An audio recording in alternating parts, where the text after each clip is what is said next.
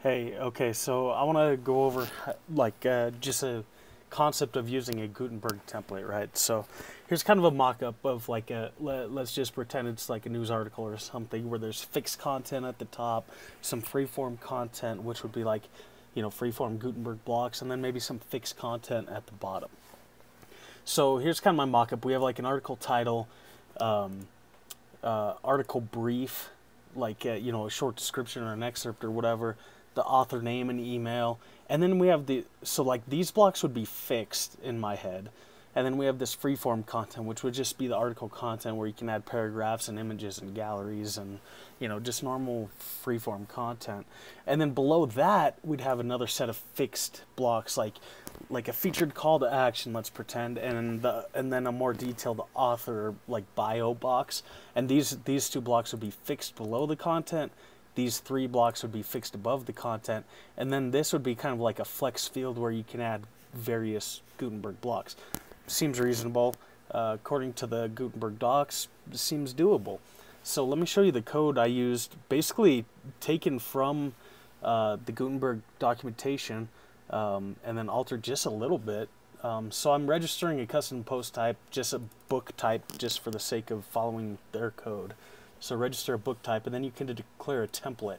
So the template, uh, I'm going to add an article description. So that's like the article brief or whatever, like I had uh, the author name, author email, and then this kind of flex field here, which is going to be a, a container block, which allows you to nest additional blocks inside. So by default, I'm going to have just an image and a paragraph.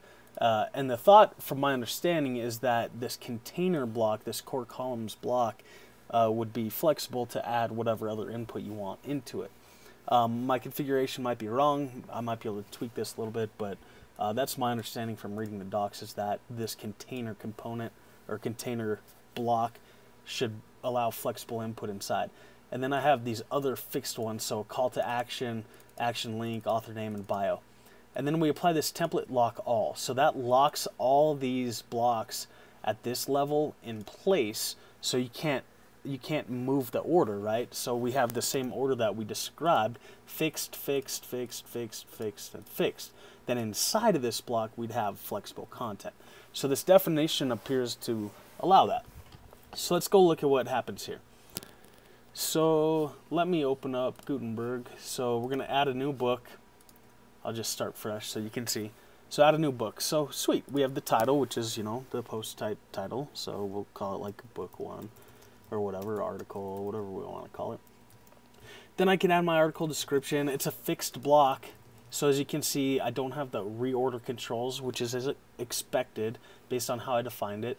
I do get these failed updates, which I'm not sure why. Author name, Jason, author email, you know, so I can fill in these stuff or we can have it be auto populated based on the author or whatever. Uh, um, yes, and then and then we get to this free form content field. So here I have like an image and an inner paragraph. Um, this is kind of funky because it's showing us two columns. It looks like it has support for one column, but I couldn't figure out how to configure it that way. Um, so now I have like an image. I could I can add an image. Um, and then I can add, you know, my content, whatever.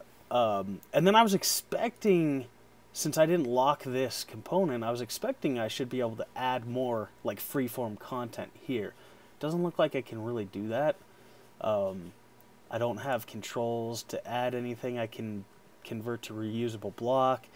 Um, and that's about it. I can show advanced settings. So I can't even add more paragraphs.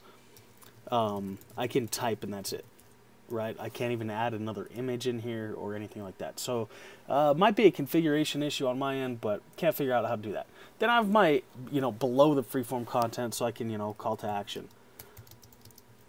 And then, like, I can add a button, like, you know, whatever, based on my action button. Cool. Then I have my author name uh, and my author bio that I can fill out here if I wanted to. Now here's where things get really fun. Um, so if I start typing stuff in here, one thing I noticed, yeah, so look at this. I, I type a little bit and then I can click this button and like this weird stuff starts showing up. I don't even know like how I stumbled across it. But, like stuff just starts showing up and I can't remove it. Like there's no way to delete these things now.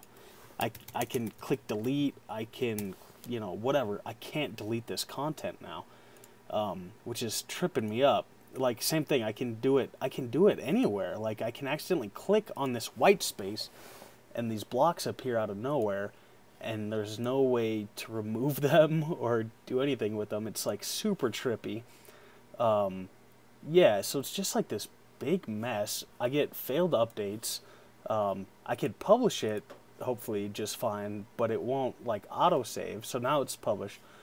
Um, yeah, so it's super trippy. Um, really just awkward experience. Um, yeah, it I tried Gutenberg out like six months ago, and it was felt way smoother than it feels right now.